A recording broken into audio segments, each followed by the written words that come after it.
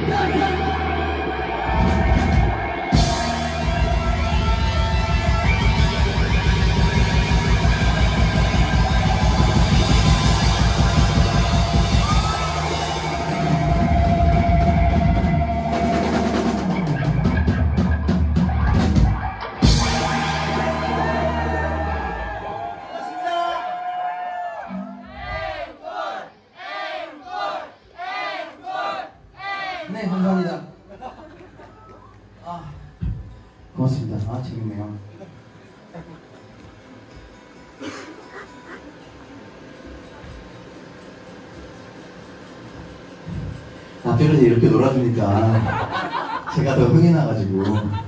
아, 좋았네요. 어, 네, 어, 생명 나눔, 어, 생명 나눔 활성화 콘서트 네버스타임 네. 공연. 저희가 첫 번째 날이었죠. 첫 번째 날. 음, 마지막 곡을 앞두고 있습니다. 여러분들 모두. 어,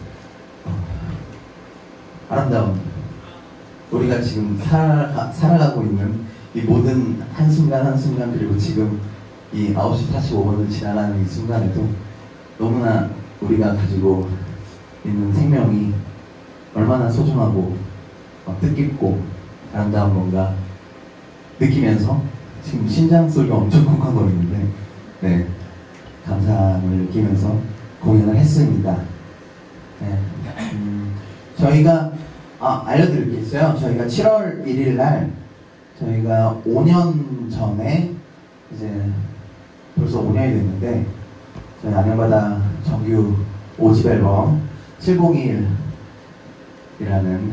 제목을 가진 정규 5집 앨범이 5년 전에 발표가 됐어요. 근데 그때 당시에 저희가 이 앨범을 기획할 때부터 LP로 발매하는 것을 목표로 삼고 A side, B side를 나눠서 이제 저희가 준비를 했었는데 그때 이제 당시 회사랑 여러 가지 이제 문제들이 되게 어긋나서 LP로는 발매를 못하고 테이프로 A side, B side를 발매를 했어요. 그래서 그게 못내 계속 아쉬움으로 남아 있었는데 어, 이제 LP 제작사에서 5년 만에 저희한테 연락이 와가지고 이 앨범이 너무 좋은데 이 앨범을 저희가 제작을 해도 되겠냐 그래서 흔쾌히 저희가 생각을 해서 5년 만에 어, 701 LP가 나왔어요. 그래서 어, 5년 만에 완성된 그 느낌이 참 좋아서 저희가 LP 제작 시작부터 그 마지막 프레싱 할 때까지 공장에 가가지고 직접 어, 복수까지 하면서 만든 공들여서 만든 앨범인데 네, 그 LP 발매 기념 공연이 7월 1일 날 701, 그 일부러 맞추는 얼마나 힘들었는지 알아요?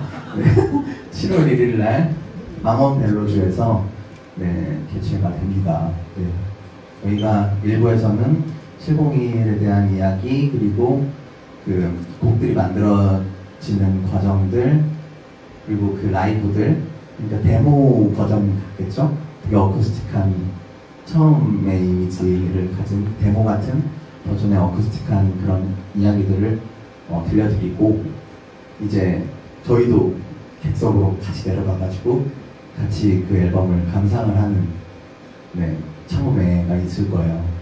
근데 국내에서 뭐 여러 군데를 찾아봤는데 그 LP를 정말 제대로 플레이할 수 있는 그 시스템을 갖춘 곳이 벨로주 망원에서 어, 가능할 것 같더라고요. 그 하이파이 시스템이라든지 어, 여러 가지 환경들이 어, 그 음악에 대해서 가장 잘 이해할 수 있는 공간이기도 하고 그래서 여러 장비들을 그 전날 막 다 옮겨가지고 최상의 상태로 들을 수 있게 준비를 한다고 해서 지금 그날만 되게 기다려지고 있거든요. 되게 설레고 정말 행복한 공연이 될 것 같고 어 지금 예매 어디서 하고 있죠, 선재 씨?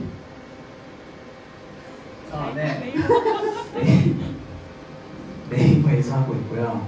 그리고 저희가 또 뿐더러 저희가 또 LP만 듣지만 않고 또 저희도 또 701에 만들어졌던 곡을 또 선보이지 않습니까? 뭐 아까 방금 전에 얘기했는데 안 들었지?